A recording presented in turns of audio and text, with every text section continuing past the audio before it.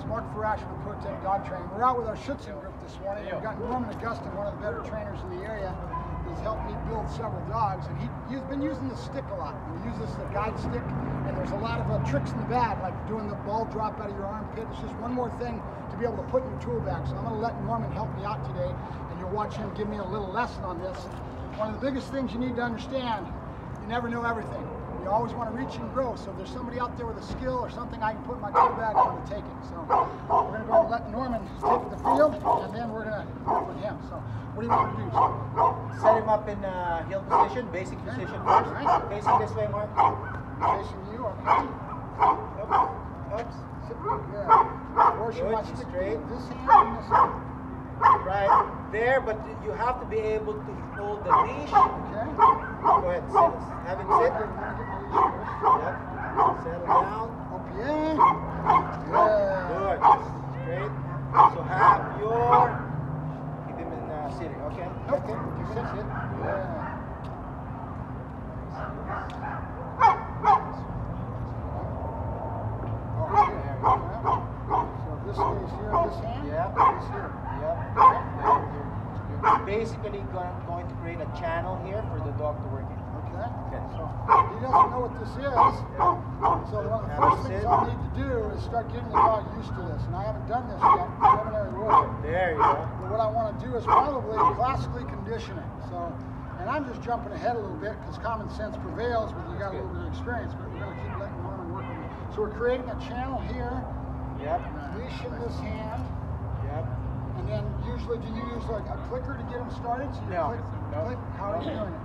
Uh, basically, just light taps, pop, pop, pop. We will kind of like make him sensitive to the stick. Yeah, we will teach. here, Yes, here. yes. So food, food.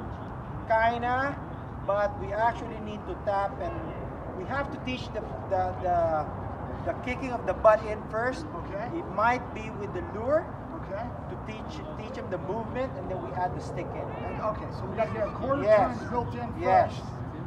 Which we Yes. have been working on, but to do that, I usually have been using the lure because at this spot the quarter turns are here. Yep.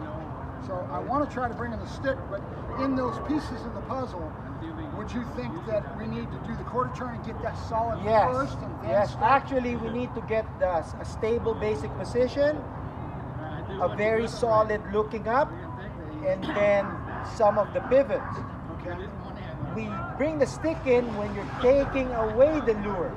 Ah, we're phasing out the Yes. lure, bringing the stick. Yes, when you fade away the lure, you take the stick, you get the head up, Uh-huh. or the stick to reinforce the pivots, and then the lure comes out again. Okay, So we're kind of like yeah, back and forth. And Yep. you're, you're phasing, Yep. you're phasing out your lure. You're bringing in this, which means a little bit more compulsion. Yes, attitude. yes. Okay. So right, right, now, until he's steady on this, Yes. I'll start classically conditioning Yes. this with a click or whatever and Okay. get him used to that. And then we want Keep to him create steady. a channel here. So what we're going to do, folks, we're going to show you this progress as we go along. And right now, keep in mind, it's real rough. We're just getting started. He doesn't have a clue what this is, and we need a little bit more of the other pieces of the puzzle that he's talking about with quarter turns that I showed you the other day. And this thing needs to be solid before I can bring in the stick. So we'll talk about it more. Keep keep keep your hand steady, Mark.